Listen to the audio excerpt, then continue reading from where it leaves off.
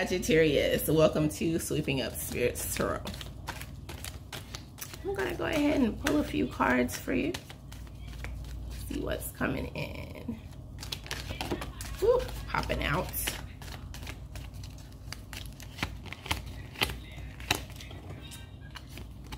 What do we have here?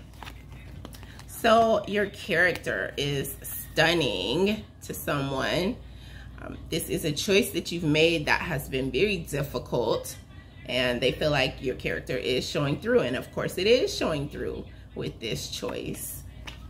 So that's what is coming in first and foremost. Secondly, we have the Fool coming in. So something having to do with adventure for you is um, really making an impact on someone who sees how strong you are.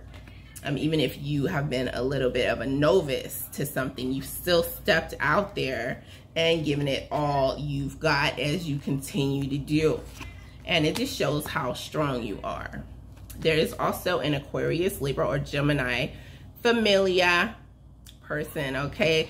This is someone who's familiar with you. Yes, this is your family and you are heavily on their mind right now. They love you a great deal. Lastly, we have the Hierophant coming in for you.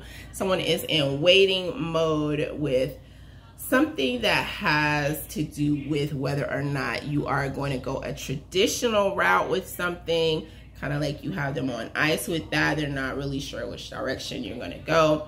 Um, they are waiting to hear from you when it comes to that. This could also be related to school or something having to do with dogma or church for some of you guys. They want to know, you know, are you going to accept some um, some sort of responsibility, some sort of position that is institutional.